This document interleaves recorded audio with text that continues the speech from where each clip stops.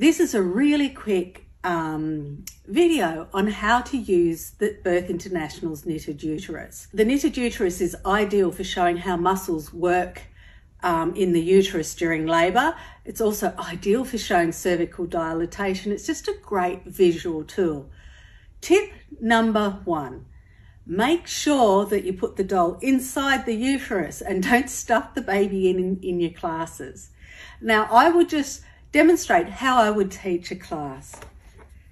Well, this is my knitted uterus and it's a great way to show you how um, the muscles in the uterus work during labour.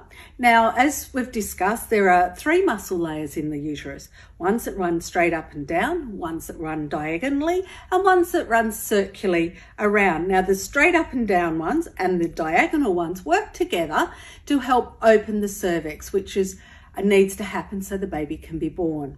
The circular ones, their role is just to relax and allow the other two muscle layers to work. Now, what happens is when um, a woman's body releases surges of oxytocin, they bathe the uterus and cause it to contract. And what happens when a uterus contracts is it gets thicker at the top and it starts to thin at the bottom. And so during a contraction, it gets thicker, thicker, thicker at the top, and then it relaxes, but it doesn't relax 100%.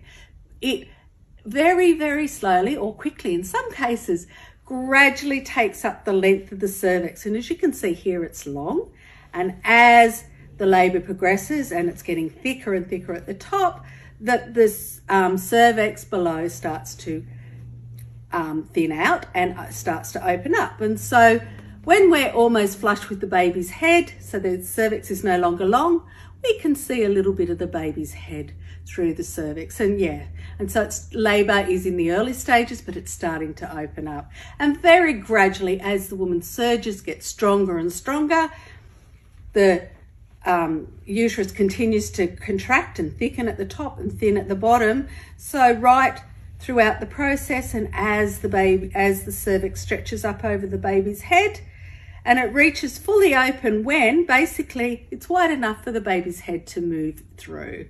So that would be considered um, the cervix fully open or fully dilated as some, some health professionals term it. But the journey's not finished there. Of course, the baby now has to travel down the birth canal. And so here is my vagina.